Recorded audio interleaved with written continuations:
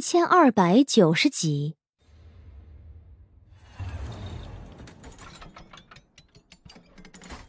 和世界毁灭相比，真神和几个大君王的性命还真不算什么。傲风相信联军阵营，也明白倾巢之下无完卵的道理，停战休养势在必行。怎么，你觉得很可惜？冷君华似笑非笑的问着。不，这正合我意。傲风鹰眉一挺，抬起头来。这些年，我不断的修行攀登。就是为了打败此人，就这么杀了他，我心里也觉得缺了点什么。有机会的话，我还是希望能够自己亲手击败他。这次的战争是真神步步紧逼，不给我更多时间。如果再有百年，我相信我定能强过他。那么现在放他，也就没什么所谓了。亲手打败真神，这算是傲风的一个执念。上古幻世的大仇不能不报。云青红的事更让他怒火滔天。真神是他的修行道路上的一个标杆型对手，如果他真就这么酱油的死了，对傲风来说也是个遗憾。而停战归停战，傲风也不会傻到真以为能和对方联手抗敌。他们之间的仇怨不可化解，关系不比那些入侵的外敌好多少。哪怕表面和平，心里仍是各怀鬼胎。一旦帝王陵开启，双方恐怕会再起冲突。这段时间里，他一定要超越真神。百年时间就想超越他，年轻人，你很有志气啊！冷君华也挑眉一笑，顿了又顿道：“不过，我要提醒你的是，你百年之后要面对的，可不是现在的他。魔神结界破除后，至尊强者。”便可直接降临诸神，也就是说，将来站到你面前的是此人的本体，至尊巅峰的君临者，在万界之中也能堪称绝顶的高手。这样，你还有信心？本体降临，至尊巅峰。傲风怔一怔，他这是第一次听说真神本体确切的等级。果然还是站在世界顶端的存在，虽然他治理天下烂的可以，这实力却是真强。不过他既然都敢挑战昔日号称天下的第一的真神，又岂会因为这点困难就退缩呢？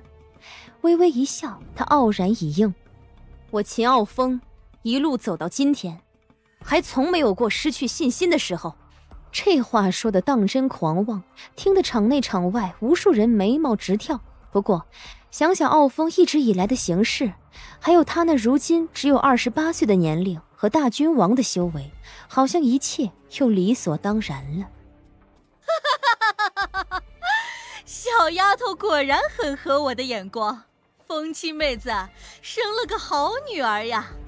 既然如此，事情就这么定了。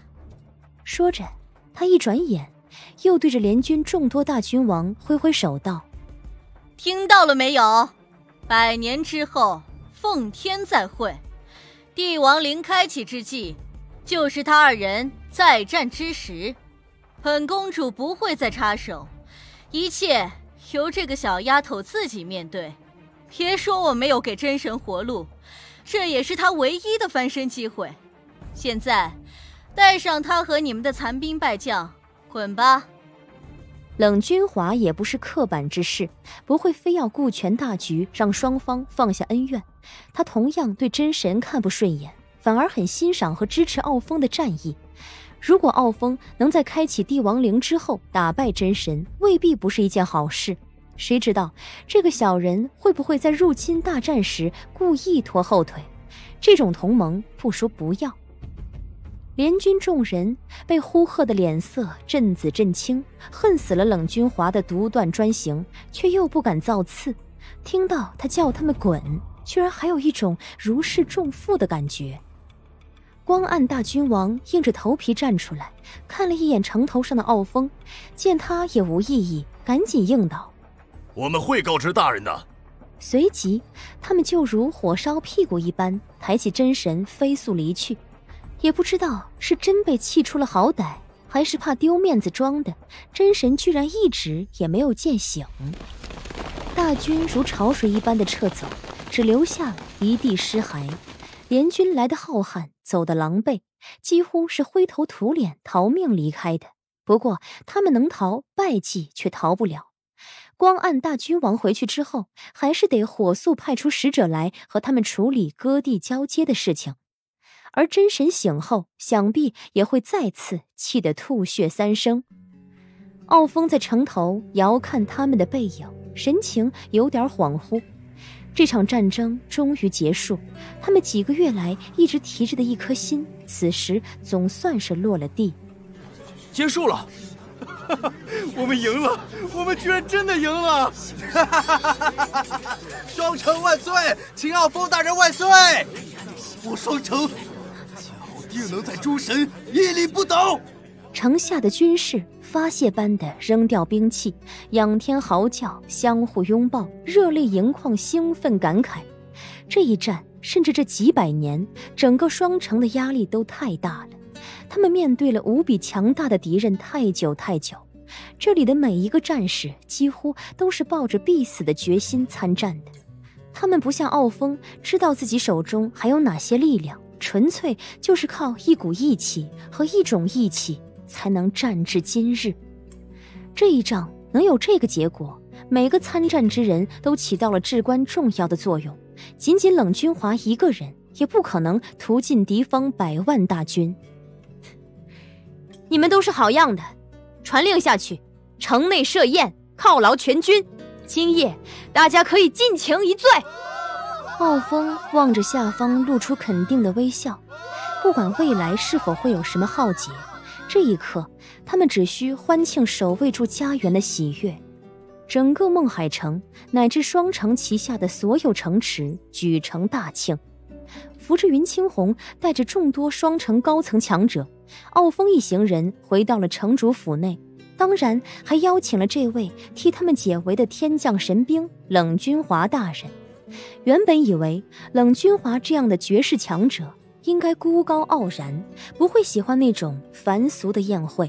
傲风等人只不过客气着邀请一下，其实是有很多问题等着想问他。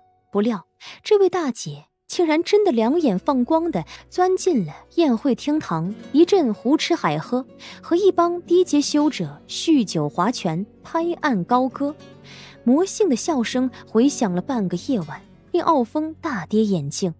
不过，众人也要处理不少后事，除了犒劳之外，还有战后抚恤。毕竟战争总是会有伤亡的，城外一片狼藉，也要安排人打扫处理。境内的消息传递和解除战时传送阵禁闭，以及各种警报，还要应对一些诸如和风岛、兽王岭等巅峰势力来的道贺信息等各种杂事，忙得众高层脚不沾地。傲风不管这些事情，但他也忙，忙着替云青红查看伤势。只是看着看着，就变成了偷香和反调戏大战了。云青红对傲风在战场上的热情表示非常满意，定要反馈一下，聊表寸心。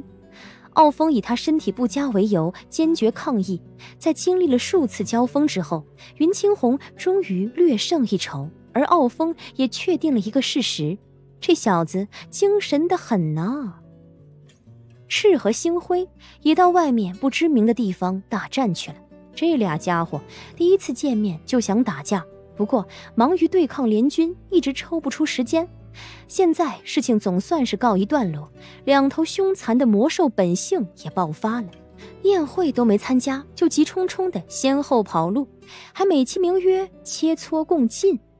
傲风知道。是最近屡屡遭到压制，生怕他心中不爽，特意好语安慰了一下。哪知赤大爷一撇嘴，就让他翻白眼儿了。